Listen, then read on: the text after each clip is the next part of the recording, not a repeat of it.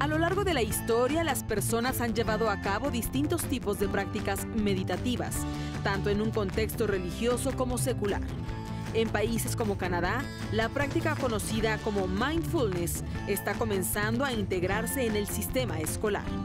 Pero, ¿qué es mindfulness? La respuesta no es sencilla y no va en una sola dirección. Para responderla, Ellis Weisbaum, en entrevista exclusiva para la Agencia Informativa de Educación de México, nos compartió su experiencia y conocimiento al respecto. So one definition uh, comes from the Plum Village community, uh, which is founded by Thich Nhat Hanh, who's a Zen master and Nobel Peace Prize nominee and one of my teachers. And they define mindfulness as the awareness of what is happening inside and around us in the present moment. Lo que Eli describe como una definición sencilla, pero no fácil. Mindfulness, it's about paying attention. And then there's also that term present moment. And so when we talk about mindfulness, what are we paying attention to? And one of the things is we want to pay attention to the present moment.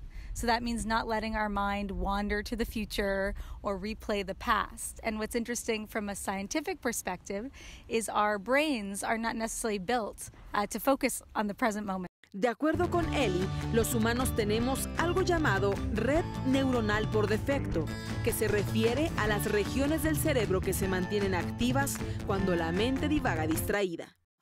and it's what our brain defaults to when it's not doing a specific task, and it's actually the network in charge of mind wandering. So it's more natural that our mind is wandering. Al principio básico de prestar atención al momento presente, propio del mindfulness, se agrega la noción de hacerlo sin juicios. And this is a really important piece to add when we think about what is mindfulness. Um, judgment is something we do every day. We judge other people by how they look, how they're driving. We judge ourselves. Was I smart enough? Why did I say that like that? And so we do judgments all day. And so in mindfulness, not only are we trying to pay attention to the present moment, but we're doing that with non-judgment. Los alcances de las prácticas meditativas como el mindfulness continúan siendo un campo de investigación emergente que tiene, sin embargo, fundamentos científicos basados en la neurociencia. Um, so, one of the areas that we're very interested in with mindfulness is around neuroplasticity. Um, and this is another term that's kind of been getting more popular.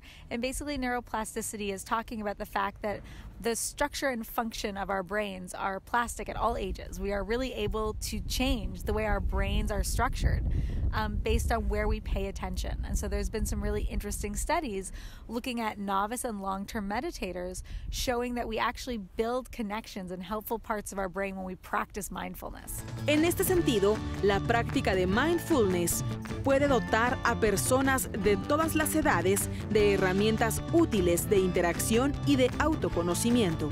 Wouldn't turn to a kindergartner and say, go be a better lawyer, because you know they have not trained to be. Like a kindergartner to stop crying.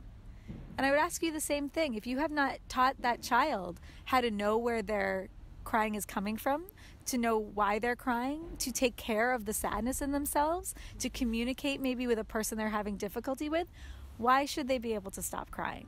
Las prácticas meditativas como el mindfulness, al no enfocarse en argumentos religiosos, sino científicos y de bienestar personal, permiten ejercerse en contextos como el escolar. And to me, there's something wonderful when I bring mindfulness into classrooms, especially with the little kids. They often can get it right away because we're talking about our own minds, our own emotions. And so at any age, we're really able to think about that. I had a Al momento de plantear ejercicios mindfulness en un salón de clases, tanto para adultos como para niños, Eli prefiere aplicar diferentes metodologías.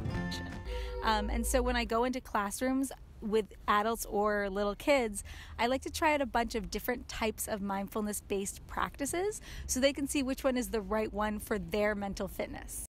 En este sentido, si bien a una persona le parece lo más adecuado sentarse en un cojín y realizar ejercicios de respiración y meditar, para otra puede resultar más efectivo hacerlo caminando. Finalmente, de acuerdo con Eli, la esencia del mindfulness radica en adquirir la habilidad de estar al tanto de nuestras mentes, prestar atención al presente y que ello ayude a las personas a comunicarse de mejor manera con los demás.